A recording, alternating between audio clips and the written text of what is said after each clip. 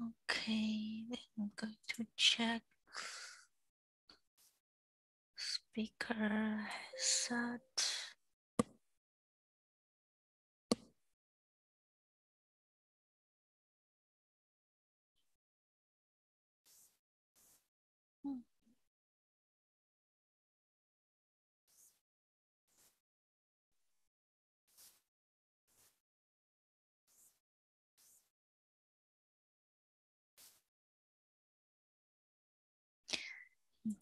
Okay, I'll find this one.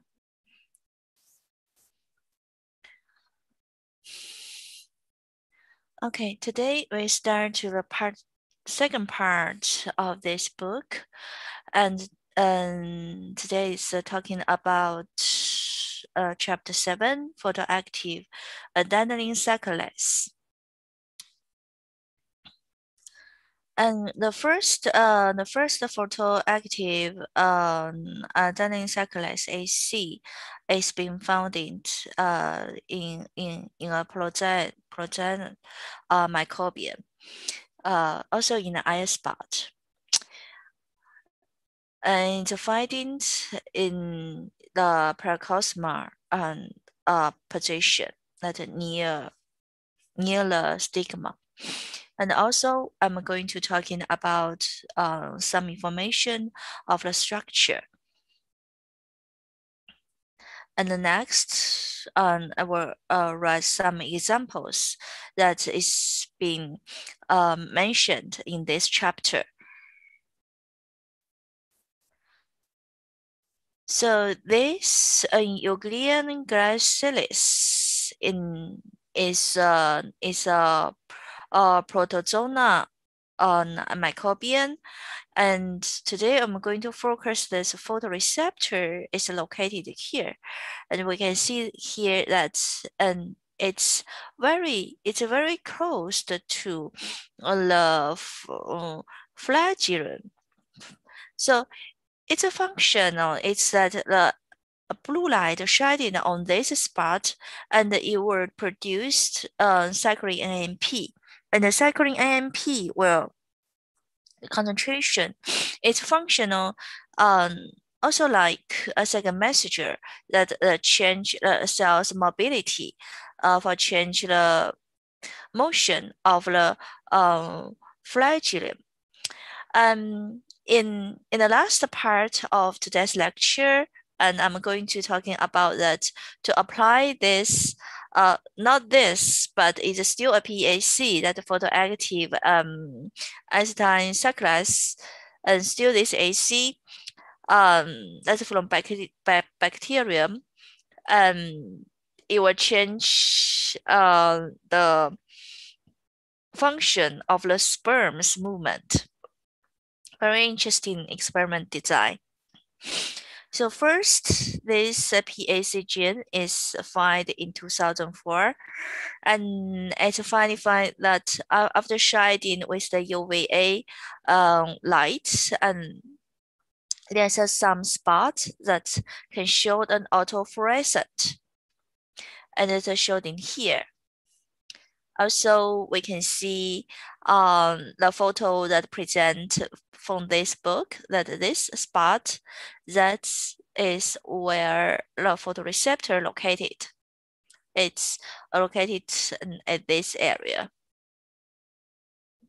And the chromophore is using, it's not like those channel rhodopsins or other rhodopsins that are using retina um, and those variants, the whole family of the variants, are using like uh, very close to the um, like like like a plant um, photosynthesis system that use FA FMN. So this so the chromophore is different. And the whole family is also called uh, flavine. If um, some that are absorbing blue light and change to green light, and if it change like getting getting a proton, and you are absorbing green light and emit red light, and if get a electron, then absorbing UV light and you will emit on green light. So and so of course it absorbed some photons, but it also will emit uh, another wavelength of the light. Then we can see the structure that is presented um, by Oki in 2016. And it's uh, the structure is formed by a dimer. So it's called PAC alpha and PAC beta. So the length is slightly different between the alpha and the beta subunit. And the quantum efficiency of the photo transformation of beta is lower than the alpha.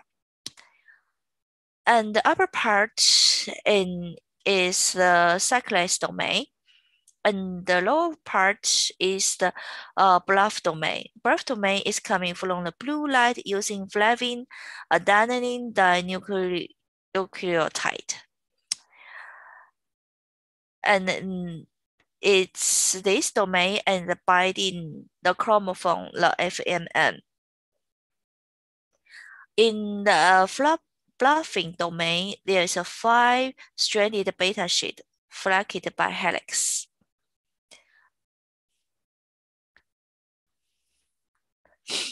So then here example, we can show that after shining with this blue light, um,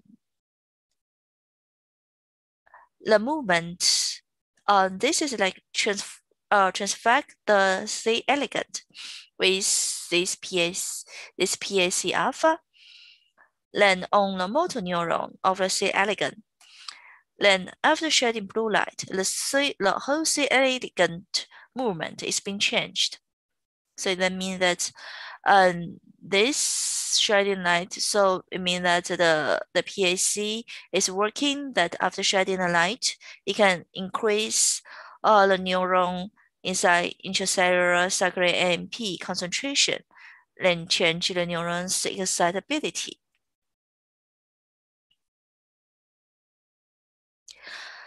Uh, this PAC both uh, dark adapted state and light adapted state. There's a slightly different about the 10 nanometer uh, longer wavelengths.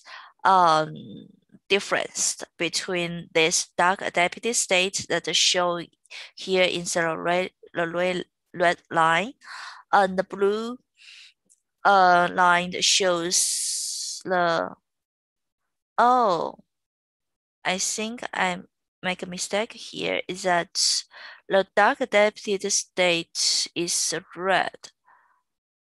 Okay, I'm sorry. And I should change the here.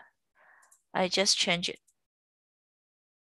Yeah, and light is there's a light active. So there's a there's a, a slightly different um in the absorbing absorption spectrum of the PAC.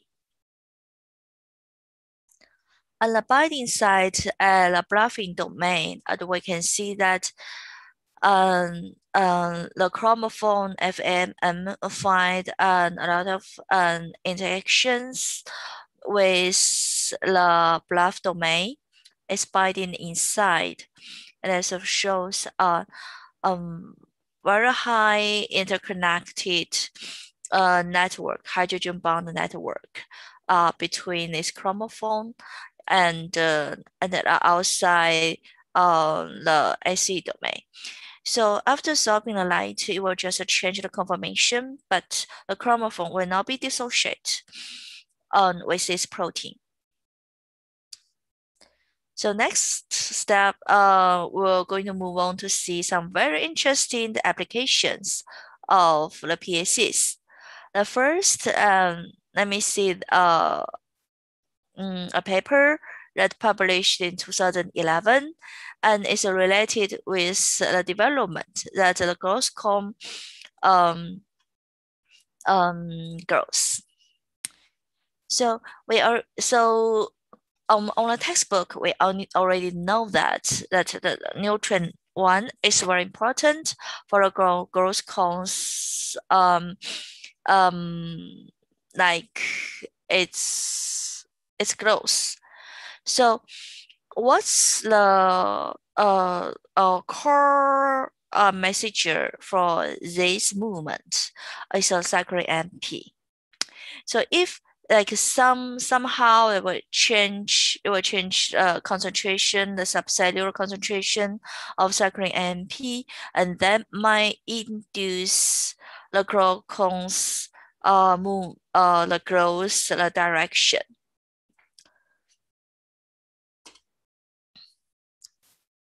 So in these studies uh, basically it's like they produce the producers um, there's a PAC on the closed growth cone, and it was labeled on and was linked with M cherry, and that was shown here. M cherry will be showing red, so the growth cones will be will be red, and the and the PAC, the stimulation light is the blue light, so shining the blue light, and we can see here. After shining the blue light, that's just the one side instead of in shining just directly in the center, and the growth cones later. And it's about uh, one hour and a half, one hour and 20 minutes. And the grow, growth cones grow, will grow like this direction. But if like across the, the center line, like shining light on on here, the growth cones um, will still stayed in its previous directions. The shining light outside and the growth cones were going there, but the shining light inside or oh, just in the that's in the middle line, that's the inside, just on top of the growth cones, and there was no uh growth uh like a preference that to to either directions. So this is a very interesting application. And so far, there many PACs will be, dis be discovered from many microbial species. And one of them that's a very attractive uh, scientists' um, curiosity is the BPAC that's from the Beggiatola. And because comparing to um, the original find, the earliest find, this EUPAC, and its protein size is smaller and has lower dark activity and have more higher light activity.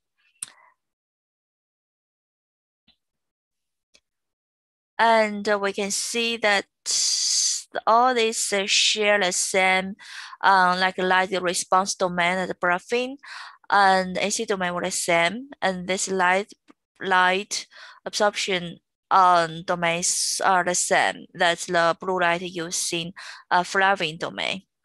And later we may talking about a CPAC at uh, completely different uh, using a GF. GF is a bistable domain, so it will be activated by blue light, but inactivated by the green light so it may be used it may be like very uh, useful in some situations. So now let's look at so this article like apply this like let me see. Yes they discovered this cpac and it has several domains and is um, found in this Microchorus PCC7113. And I go through the whole, the whole completed genome and uh, I find very interesting is that at several different locations of the genomes, um, it has this domain. That's the GIF domain that's very close to, to a cyclase um, domain um, either like so very close uh, like this or have a PAS domain and then several repeat, then also linked with um, CYC domain. I think it's quite interesting because in such a, small creature and has several locations that have this cyclase genome. Um, oh, okay. So this article is also very um attractive because they're using this this BPAC, but with a different targeting sequence and in different subcellular location, and they can determine like they can target into the plasma membrane and targeting into endosome, and then targeting to the, to the cytosol, um, and targeting to, to everywhere. So, so anywhere, then the subcellular uh, concentration of cyclin AMP will be increased. So, and that then, then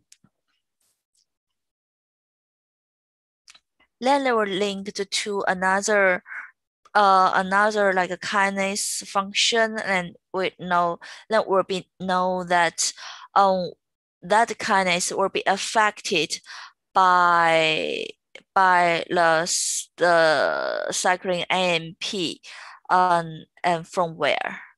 Um because cyclin AMP is quite like a subcellular quite um highly like localized right um, because there are a lot of like um, phosphate diesterase located nearby, and, and those signals will be located in in some specific subcellular locations. So this this um, targeted sequence and uh, might know that I mean like uh, specifically like increase uh, some specific areas on a AMP concentration and then to see the cell's reaction, then we'll know that which parts uh, the signal is like related to some other specific um, function of other proteins. So this uh, is is the sperm's the movement that's been controlled by let's say uh, the cyclin AMP. First, let's take a look at this video.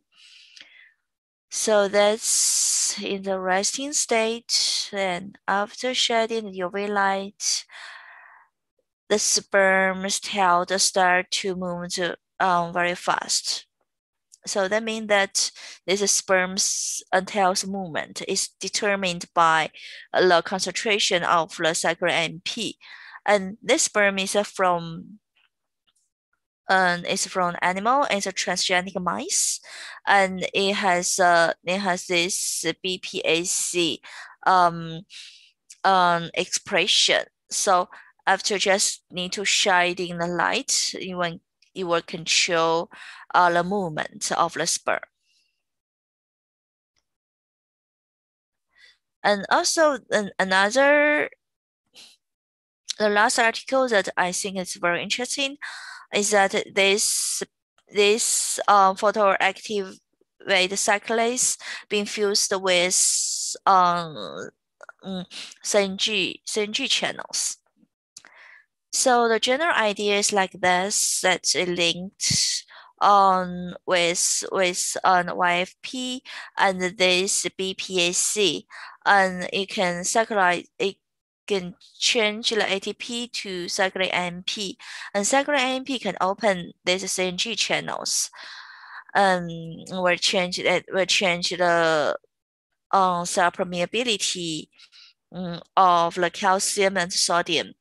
And exactly in the same paper, in another figure, I'm not going to present here, is that it linked to, to a potassium potassium channel to show that um so this this like photoactive uh adenylene cyclase can um can linked and successfully um opened the CNG channels.